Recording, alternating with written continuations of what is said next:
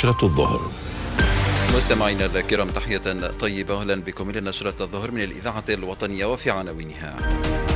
توقيع عقد إنجاز مشروع بناء المستشفى الجامعي الملك سلمان بن عبد العزيز بالقيروان والأسبوع المقبل بداية الأشغال.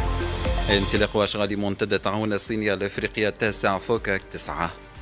ووزارة العدل تصدر مرسوما توضيحيا لكيفية تطبيق القانون المتعلق بالشيك دون رصيد. مع دخول الاجتياح الصهيوني للضفة الغربية يومه التاسع ارتفاع عدد الشهداء إلى أربعين شهيدا. إلى التفاصيل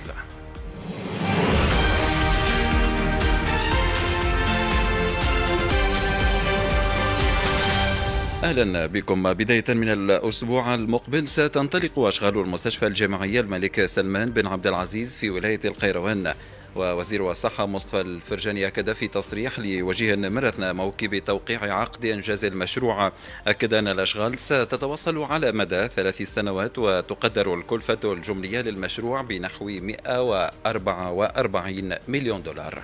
مشروع ضخم كما هكا 500 سرير وصلنا اليوم صححنا ضاع العقد بين وزارة الصحة وبين المقاول ثلاثة أبراج 12 قاعة عملية 330 وبعد يطوروا حتى 500 سرير على 12 هكتار بقيمة 82 مليون دولار وتونس كيف كيف تساهم ب 32 مليون دينار للربط بالشبكات واللي هي بدات والتو الأرض حاضرة ومجهزة. إن شاء الله المقاول والمقاول السعودي ومعاه مقاول تونس يدخلوا يخدموا فورا. اليوم صححنا مع المقاول وياخذ القسط الأول نتاعو 20% من الميزانية قاع التوقيع عليها اللي هي الكلفة الكاملة 144 مليون دولار. باش تقع متابعه يومية ومستمرة ونتعهدوا باش نحيوا العراقيل الموجودة الكل للمقاول السعودي والتونسي والآليات نتاعهم تبدأ تتحط بداية من آخر الأسبوع الأسبوع القادم.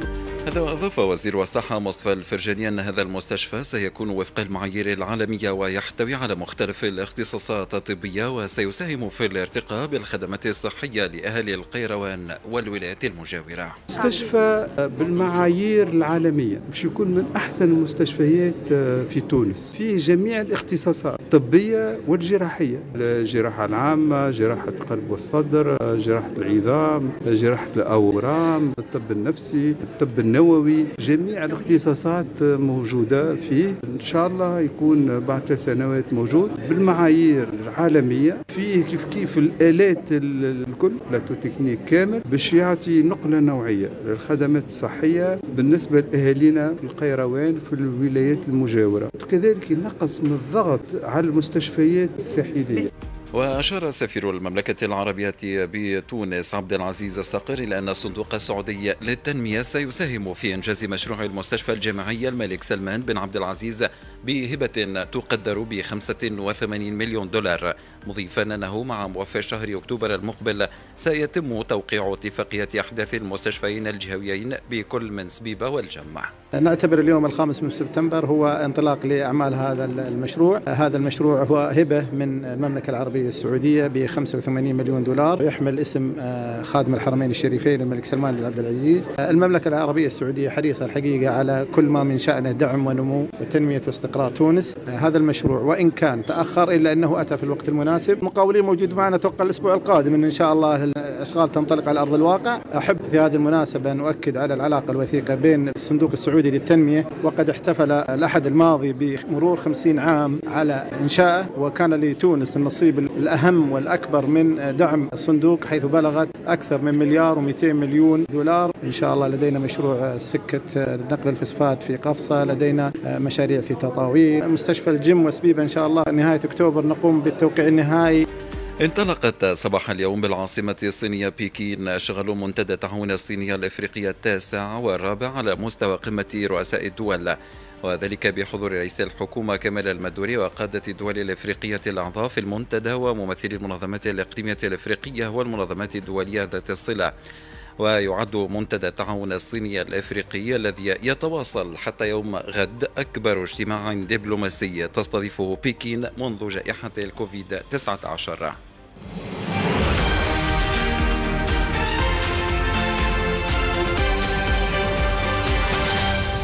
أصدرت وزارة العدل منشورا حول تطبيق الفصل السادس من القانون العدد 41 لسنة 24 و2000 المتعلق بتنقيح بعض أحكام المجالات التجارية وإتمامها.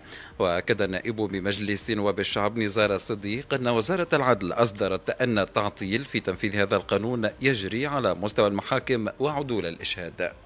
وزارة العدل أصدرت منشور تفسر فيه آه، مشروع القانون كيفية تطبيق مشروع القانون هذا. والمنشور هذا إن شاء الله باش يعمم معناها على المحاكم وعلى رجال القانون باش يبدوا يطبقوا فيه. الحقيقة حتى المنشور ما جاتش فيه حاجة جديدة خاطر القانون واضح حتى تفسيره واضح. ولكن بقينا نستغربوا كيفاش معناها ما يتمش تطبيقه. كما ورد قد كل محكمة معناها تطلب في أوراق معينين كأنها كل محكمة في بلاد وكل محكمة قانون.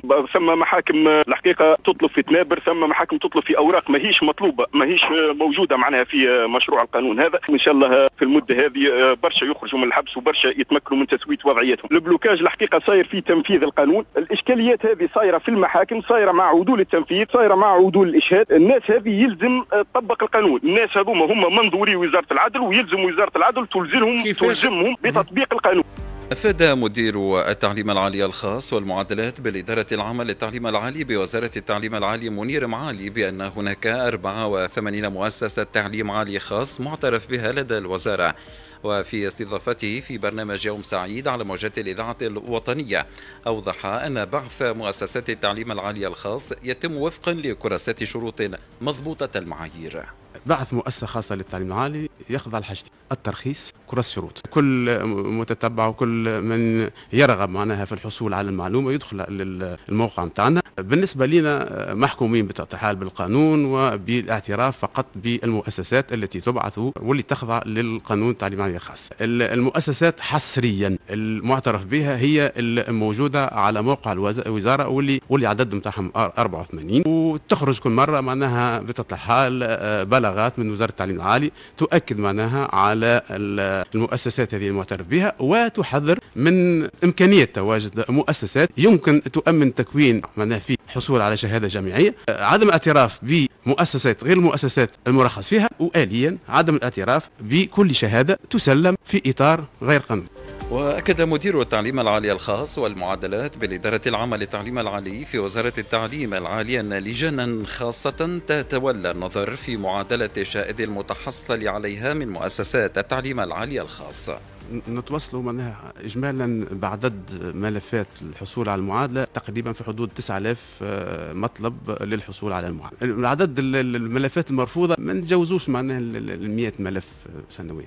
تقريبا. للحصول على المعادلة هي شهادة وطنية. بطبيعه الحال تخضع إلى أنظمة الدراسات اللي هي تنطبق على العموم وعلى الخاص على حد سواء بالنسبة لنا نقف على الشروط المستوجبة للحصول على شهادة مام المعادلات هي من الصرامة بمكان على خاطر تقيدا بنصوص. وقت ما يكونش فما إمكانية نتاع سلطة تقديرية وفما نص يحكم ونص واضح ما نجموش نتجاوزوه فنحكم بعدم الحصول على المعادلة ورفض إسناد المعادلة يكون معللا.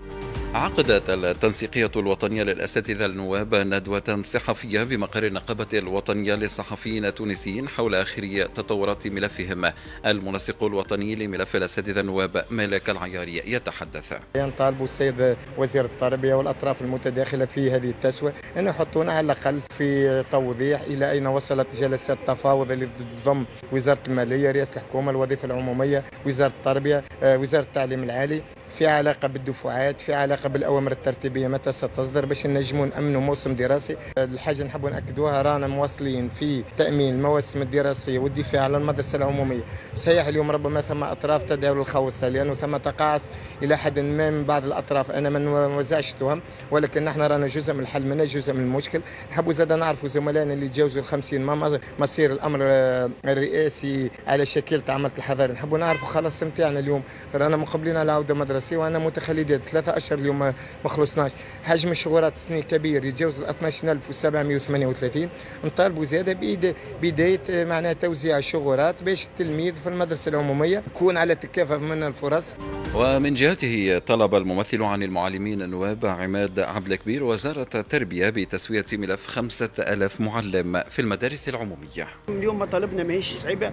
عندنا تقريبا 5000 معلم نائب. إحنا نطالبوا بترتيبهم ترتيب وطني. آمس فتحت قاعدة بيانات الابتدائي وإن شاء الله في القريب معناها يقع ترتيبهم وطنيا حسب المقاييس الاجتماعية والبيداغوجية هي العمر والأقدمية ومده النيابة. وبطبيعة الحال ال 5000 هذا مش كبير على قطاع كما التربيه أو على وزارة كما التربيه اليوم عندنا تقريبا 5000 مدرسة في كامل ربوع الجمهورية. يعني كل معلم نائب أقل حل هو الحل هذا وإحنا ديما نحاولوا باش نكونوا جزء من الحل وديما نحاولوا باش نكونوا رافد من روافد البلاد هذه. وفي سياق آخر شهد معهد باستور إقبالا مكثفا من قبل المواطنين للتلقيح ضد داء الكلب منذ السادس عشر من أوت المنقذي إذ تم تسجيل أكثر من ثلاثة ألاف شخص في غضون أسبوعين فقط. وفق ما أفادت به رئيسة قسم تلقيح الدولية بالمعهد سونيا كشاو الشريف من نهار 16 أوت قرابة جمعتين اللي أحنا في جمعتين هذم خذينا أكثر من 3000 واحد اللي هما جاوا باش يتلقاو التلقيح ضد داء الكلب.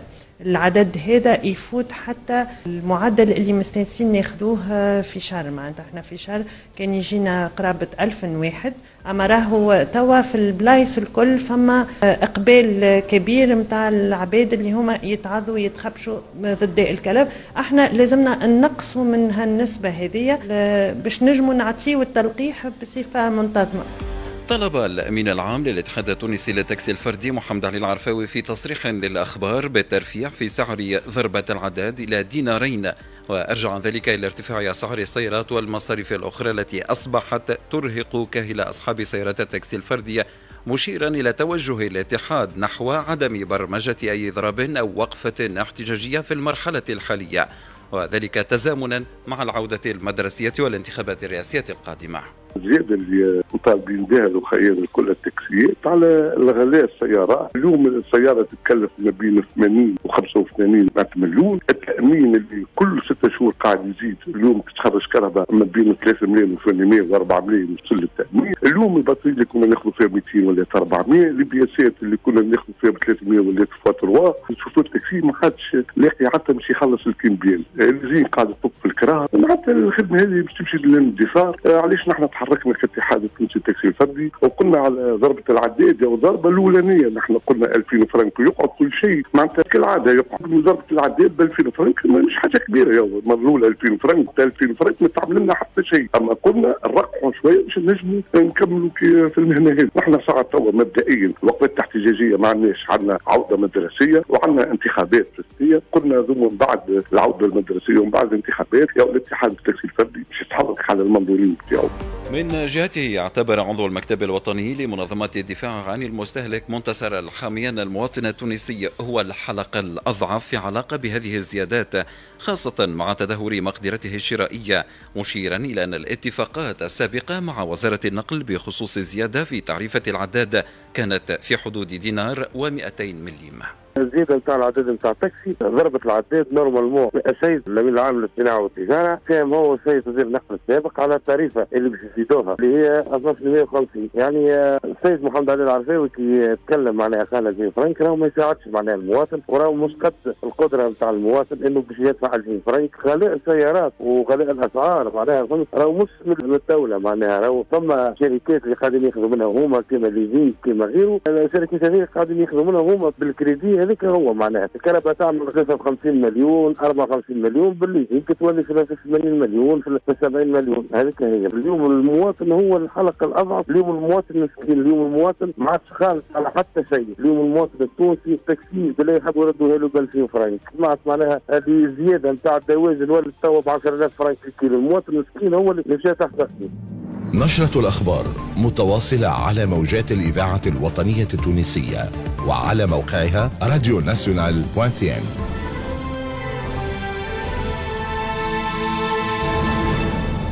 وفي تطورات الأوضاع في الشأن الفلسطيني وفي اليوم الخامس والثلاثين بعد المئة الثالثة من حربه المدمرة على غزة وصل الاحتلال قصفه المكثف برا وبحرا وجوا على منازل وتجمعات الفلسطينيين واستهدف القصف اليوم مدن رفح وخان يونس ودير البلح وغزة.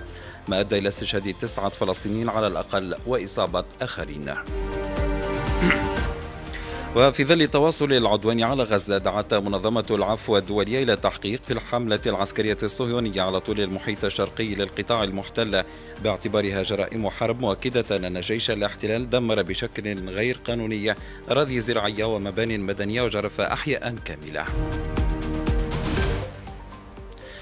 وفي الضفة الغربية المحتلة استشهد ستة فلسطينيين في إطلاق نار وقصف للاحتلال الصهيوني ليلة أمس وفجر اليوم على مدينة طوباس مما يرفع العدد إلى 40 شهيد وأكثر من 145 مصاب. حصيلة ضحايا الفلسطينيين منذ أن أطلق جيش الاحتلال عملياته العسكرية في الثامن والعشرين من أوت الماضية نقطة ونهاية هذا الموعد الإخباري هذا تذكير بأبرز عناوينه. توقيع عقد إنجاز مشروع بناء المستشفى الجامعي الملك سلمان بن عبد العزيز بالقيروان والأسبوع المقبل بداية الأشغال. انطلاق أشغال منتدى التعاون الصيني الإفريقي التاسع فوكك تسعة. وزارة العدل تصدر مرسوما توضيحيا لكيفية تطبيق القانون المتعلق بالشيك دون رصيد. ومع دخول الاجتياح الصهيوني الضفة الغربية يومه التاسع ارتفاع عدد الشهداء إلى أربعين شهيدا. ختام هذا الموعد الإخباري إلى اللقاء.